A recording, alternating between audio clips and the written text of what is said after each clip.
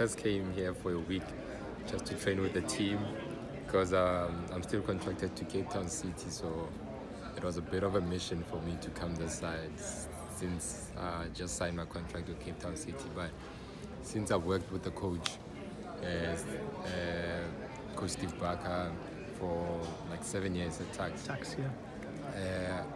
Uh, I felt like it was for me a destiny for me to come this side. When they got promoted, then I was also able to go to any club.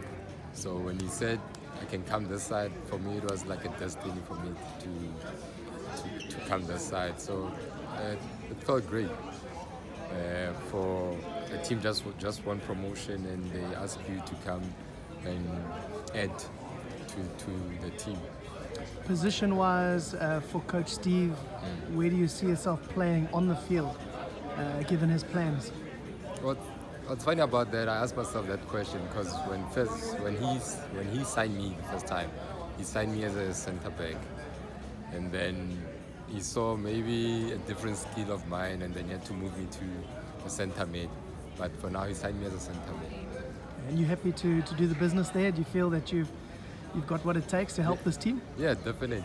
I mean, with all the experience I have, uh, and he also his his he was a soldier before, so he knows you. You know when you when you play under him, you have to work extra hard. So you mean Steve Barker was a soldier in the South African Army? Yeah. Not everyone knows that. Not everyone so knows it's that. difficult when it comes to the training ground, eh? uh, you'll think that you, you, get used to it, but you never get used to it. Eh? It's a nice feeling. And Mark van Heerden probably taking the left back position. You remember him from the Tuks days. Yes. So there's there's a lot of experience coming into the squad. Yes, yes, definitely. Mark also coming in with his experience. I think he played for Amazon for like 10 years or something. And also Morgan Gould also coming in with his. What's funny about Morgan Gould, uh, we were just having a chat and like I, I, was looking at my CV, like uh, one cup, one MTN 8, one Telkom, and I turned around and I asked him, so how many Telkoms have you won? It was like five. How many MTN 8 have you won? It was like six. how many leagues? Like four. Like for him, it was like yeah, lots of trophies. Eh? Lots of trophies. I was like, wow. Nah. Yeah, fantastic. That's it. That's a nice thing to have. So we wish you all the best, and Paul. Uh, looking much. forward to seeing you on thank the field. Yeah, thank you. Take care.